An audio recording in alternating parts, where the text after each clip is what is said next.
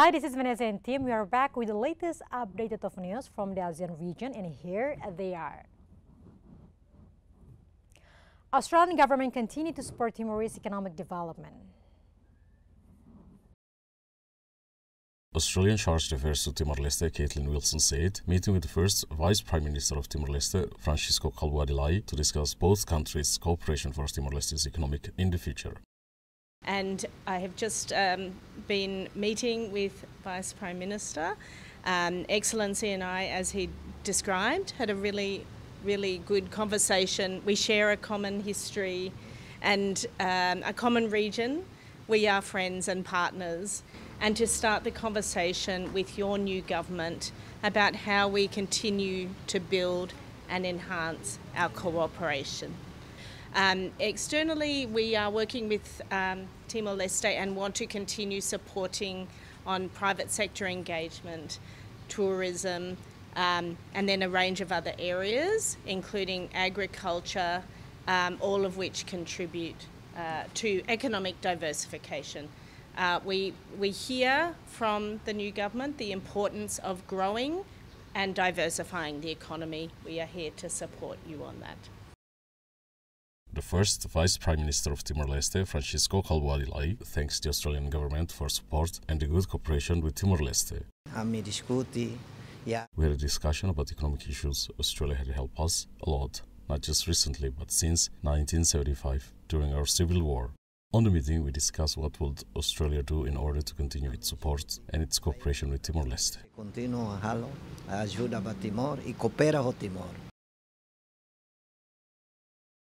Caitlin Wilson with the team congratulates the Vice Prime Minister Francisco Kalbuadi Lay for his new mandate on the structure of the ninth government.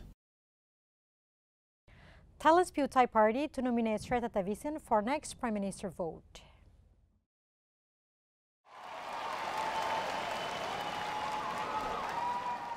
A party official said on Wednesday, August 2nd, Thailand's Pheu Thai party will nominate real estate tycoon Srettha Thavisin for the next prime ministerial vote in parliament amid a prolonged political deadlock after a general election.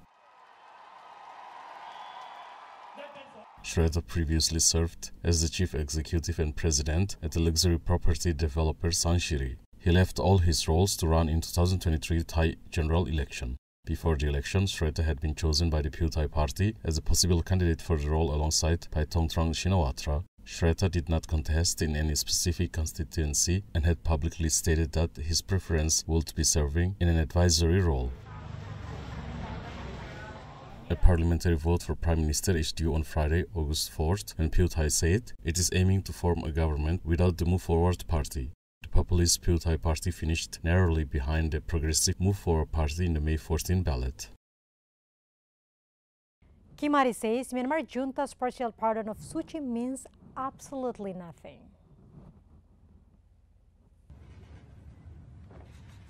Aung San Suu Kyi's son Kim Aris on Wednesday, August 2nd said a partial pardon by Myanmar's ruling military of jailed former leader Aung San Suu Kyi means absolutely nothing and he calling on Western governments to do more step up pressure on the junta. I'm sure you will say the same of yours, that you understand your own country better.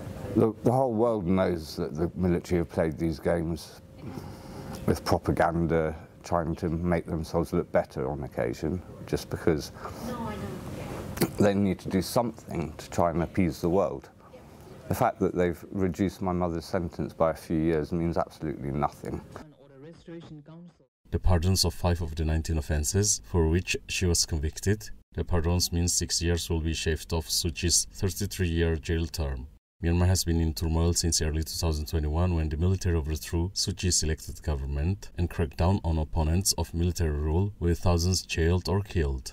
The 78-year-old Nobel laureate who was detained during the coup denies all the charges for which she was convicted, ranging from the incitement and election fraud to corruption, and has been appealing against them. Monsoon rains triggered by Typhoon Khanun worsen floods in Philippines.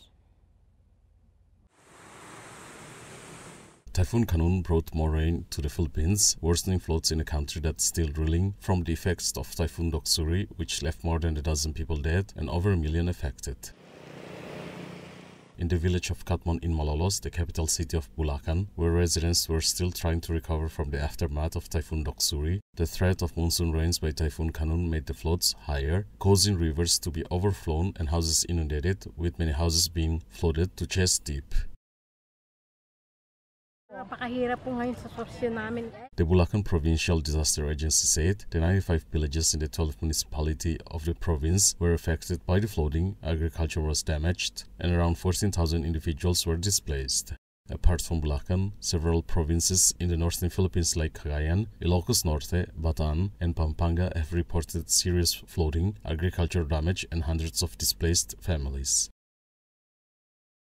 Low-lying villages submerged after heavy rain caused by typhoons in northern Philippines.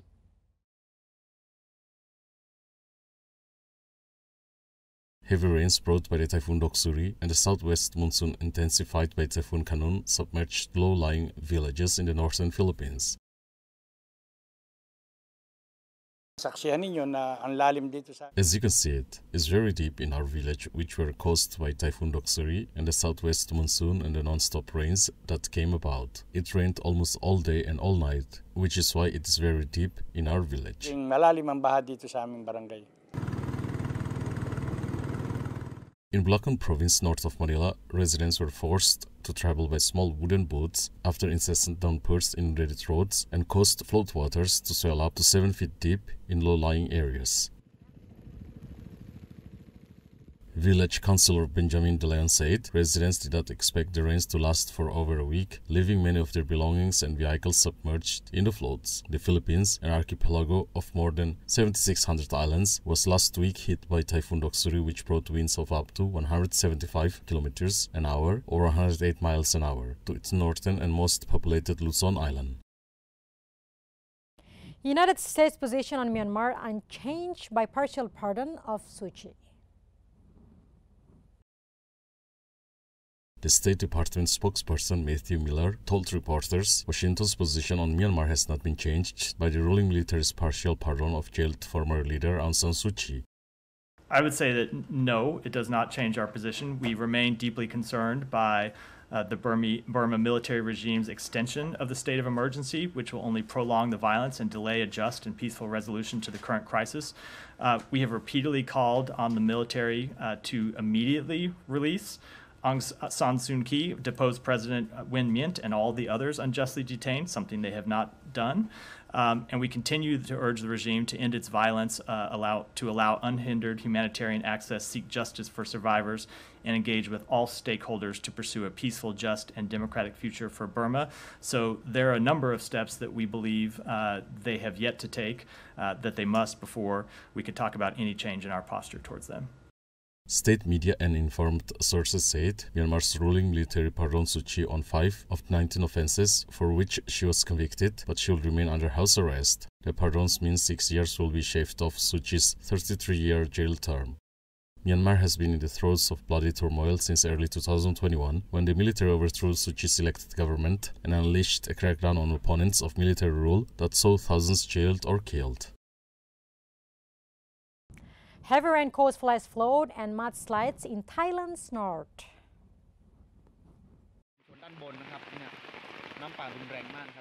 Thailand media reported heavy rainfall over the past several days caused a flash flood and mudslides in Thailand's northern Mae Hong Son province, sweeping away 12 houses and killing one person in Sop Moei district.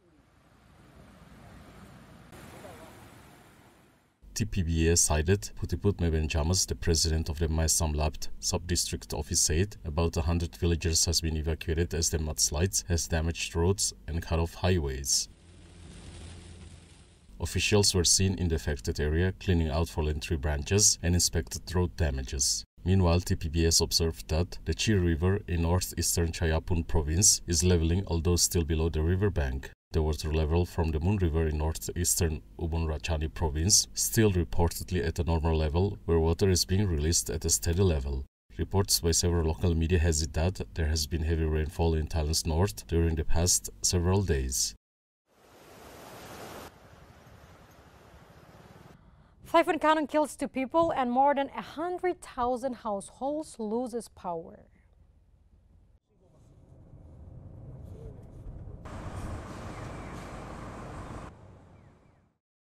NHK said two people were reported dead in Okinawa as slow-moving Typhoon Khanun continued to bring heavy rain and gusty winds to southern Japan, prolonging the damage potential of the storm. According to the Fire and Disaster Management Agency, a total of 41 people in Okinawa and Kagoshima prefectures were injured, and some 166,000 households were out of power last Thursday morning. Naha Airport, located in Okinawa's capital city and the main gateway to the popular tourist destination, resumed operations after shutting down for two days, but hundreds of flights remained cancelled. The public broadcaster NHK said the storm in the East China Sea was heading northwest and is projected to change direction to move east towards the country's mainland through Tuesday, August 8, but its path was not determined. South Korea's construction workers call for better working conditions amid sweltering weather.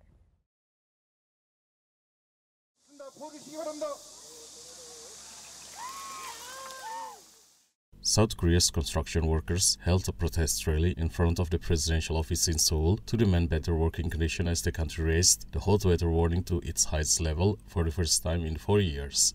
In the tourist district of Myeongdong, people were seen holding portable fans and eating ice creams while sunblock and neck cooling devices were on display at shops.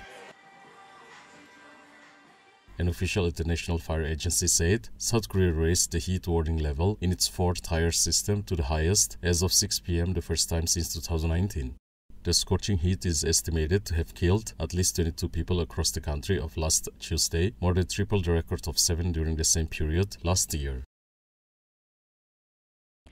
And that's wrap up everyone for today's episode. We will see you all again soon.